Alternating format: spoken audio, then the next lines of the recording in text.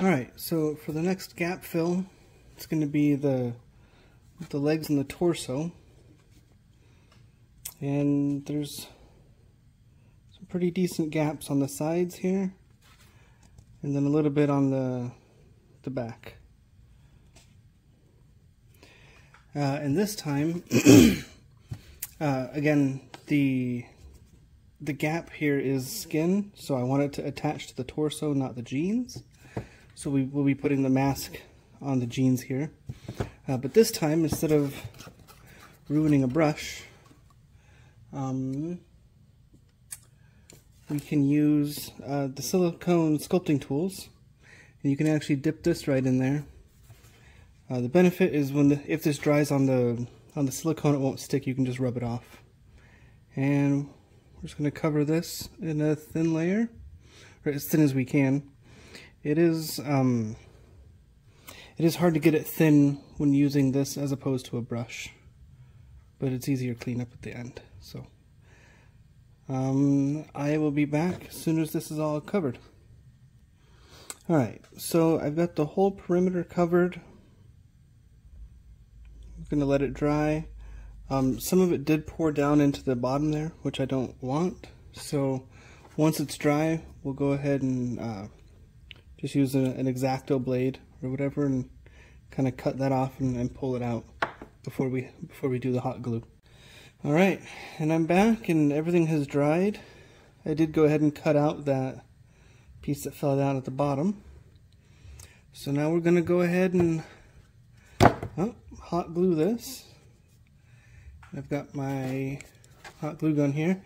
Now this one, the the keys are a little loose, so I'll have to be I'll have to put a, a pretty decent amount of hot glue in there to get it to make contact. So we'll just do you know just a little bit here and there, and then we'll press it in.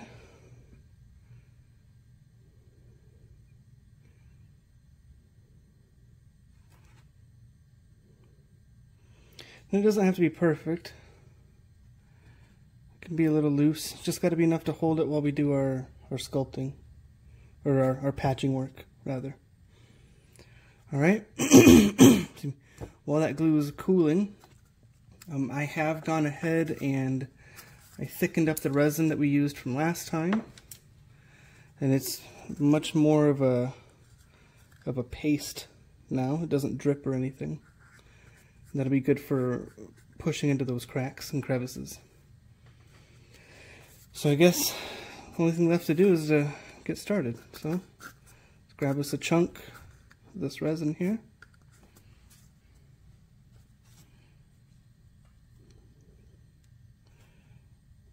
And patch away.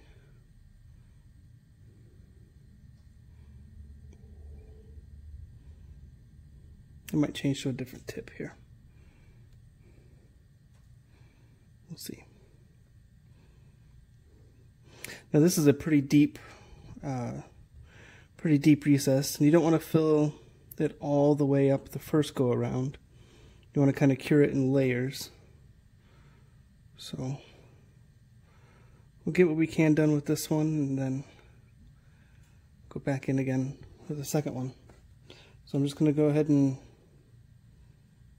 kind of fill these in. This resin might actually be a little too thick. But we'll make do.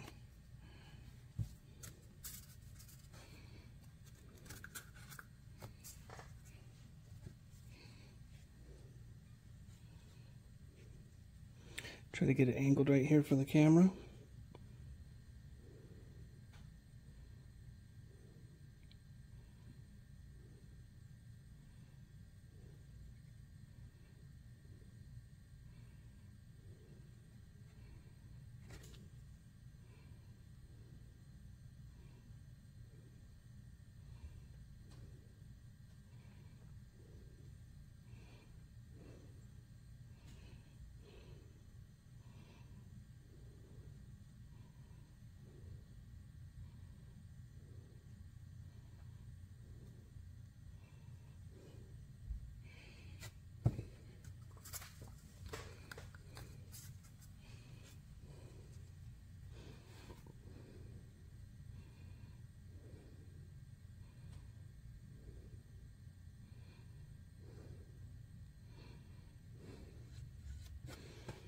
Okay, and then I'm gonna gonna smooth this out here and see where we're at.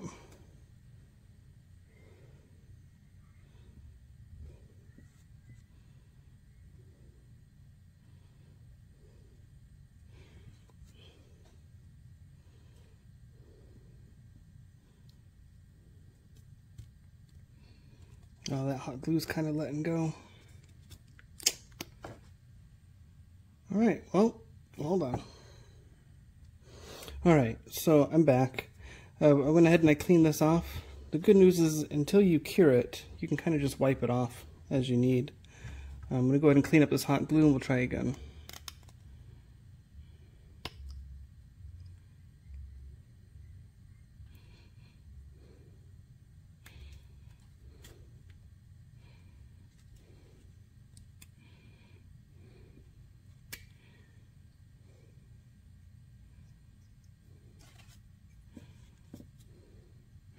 And I'm probably going to thin out that resin a little bit here.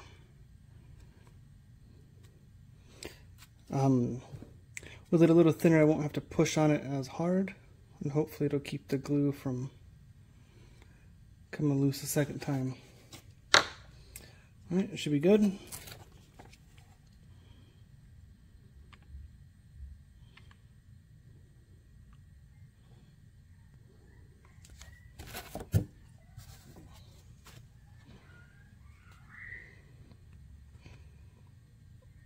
Okay. While that's cooling, go ahead and I'll thin out this resin here into the thick one.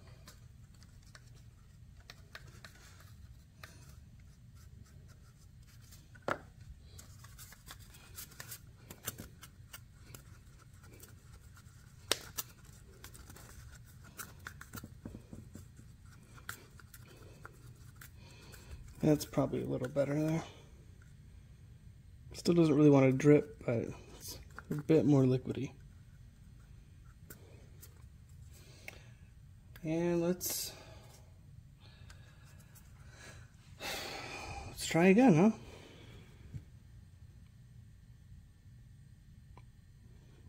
Oh yeah, that's gonna go in a little bit nicer here.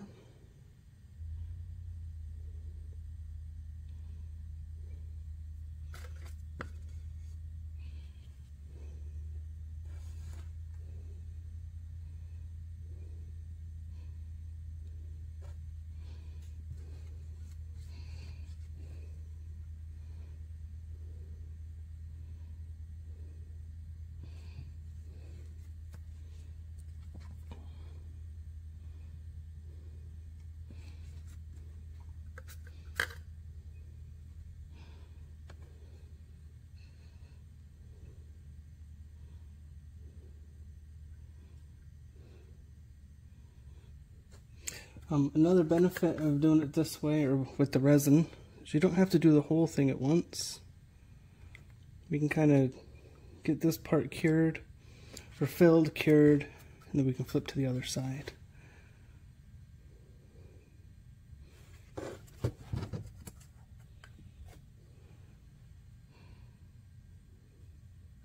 It's probably a bit too much for all at once, but...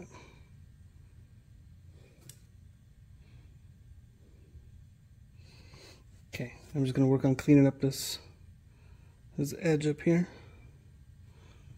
with stuff I don't want.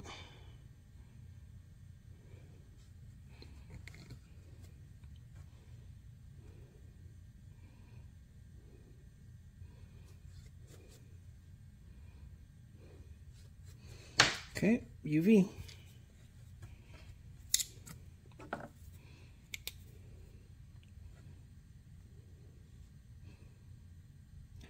I'll go ahead and probably time lapse doing the rest of it. And then uh, we'll come back and see the, the final result here. Alright. It real time that took about eight minutes to go ahead and get all those layers put on there. Uh, there's two or three layers. And I might go back and revisit it a little bit more just to kind of smooth things out, but as we can see, like with a bit of sanding, that'll it'll turn out pretty nice, I think. So, moment of truth is can we separate the two? And let's give it a shot.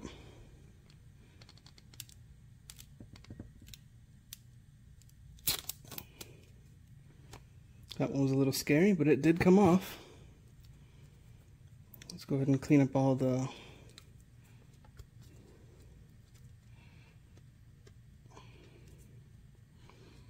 stuff there. I'll come back and get some of that later.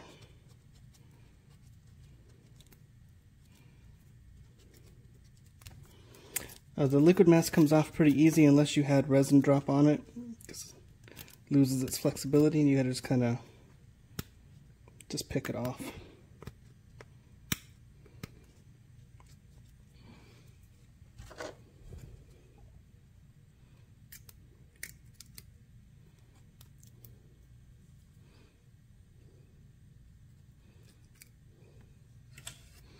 There we go.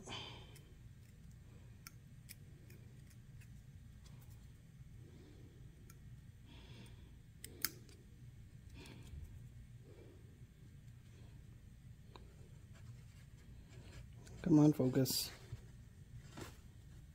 Here we go.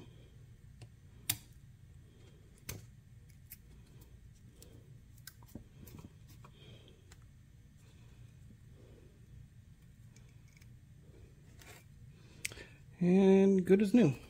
Let's clean this side off. Uh, and on some of these deeper fills, you'll still end up with some uncured resin on the inside here. Uh, once I take the liquid mask off, I'll just hit that with a light real quick.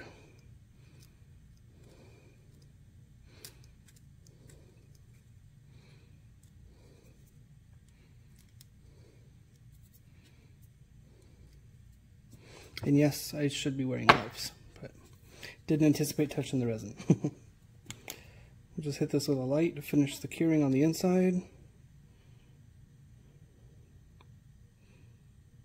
And with any luck, this will look pretty decent put together.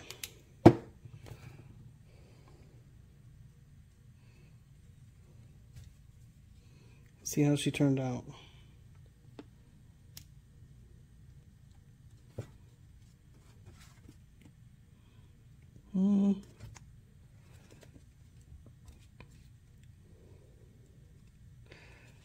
Looks like it chipped a little bit pulling apart here, especially over here.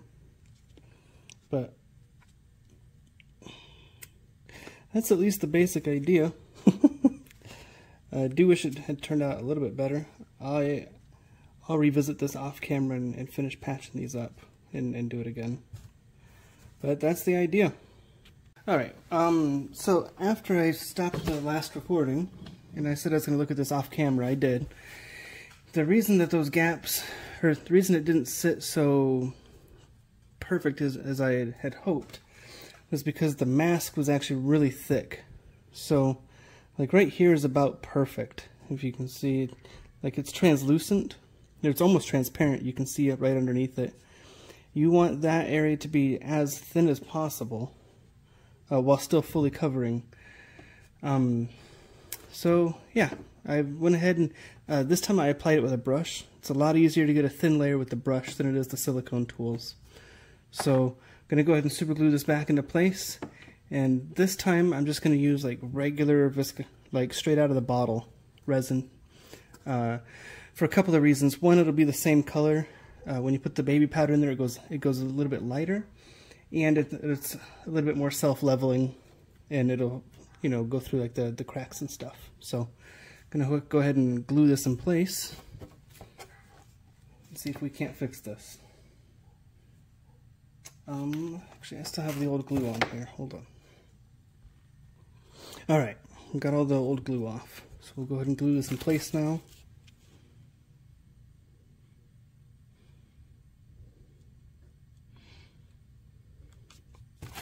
Should be enough.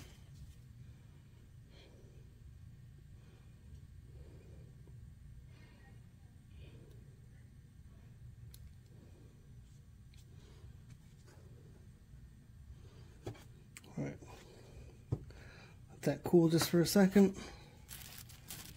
And this time though, I'm actually going to try using a, uh, this is like a sanding stick you can get at the hobby store. I'm just using it because it's got the fine point, so I can drip the resin into the, into the areas. So let's, uh, let's give it a go.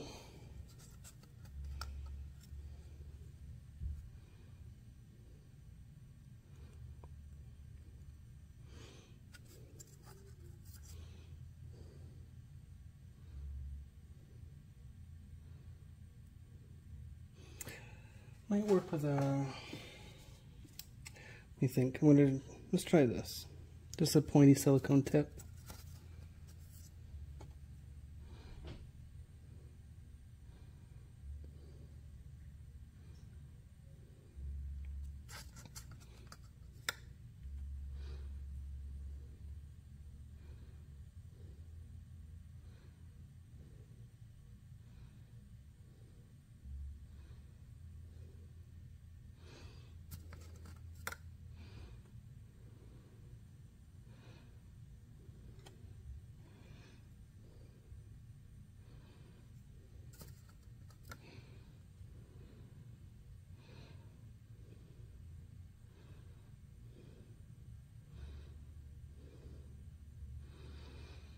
Okay.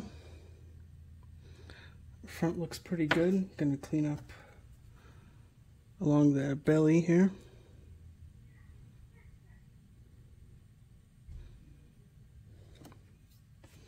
Hit that with a UV real quick.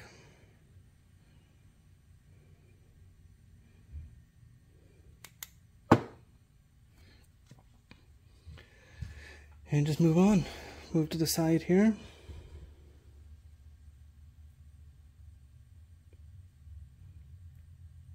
It fills in that final, that crack right up against the, uh, the mask.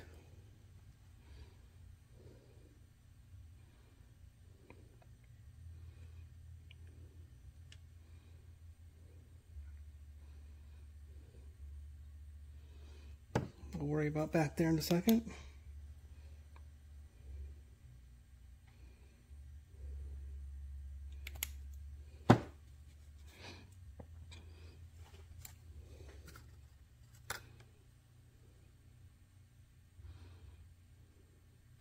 You certainly don't have to use, excuse me, a silicone tool. Could get away with like a toothpick or anything really.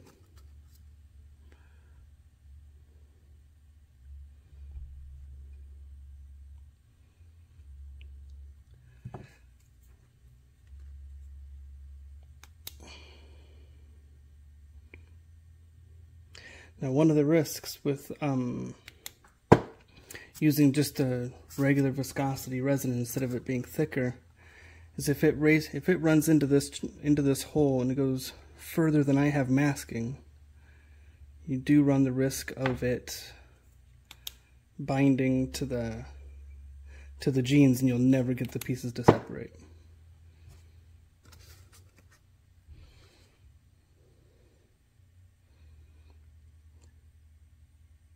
This gap is actually probably a little too wide for this thin resin, but we almost got it. There.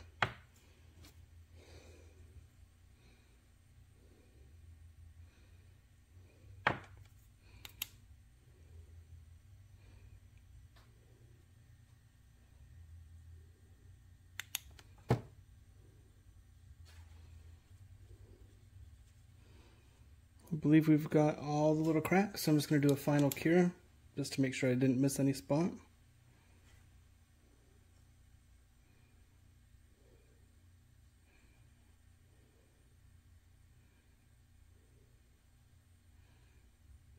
Okay. Let's see if it turned out any better this time. That thinner mask.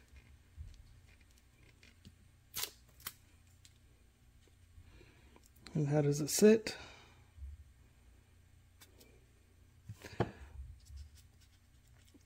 Should be just about perfect.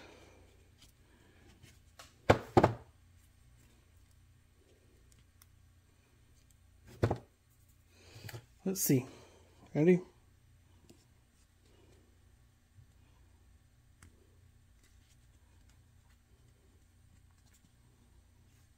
There you go.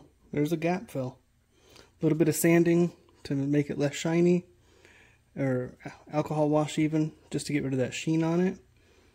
And it should be pretty close to new, or perfect.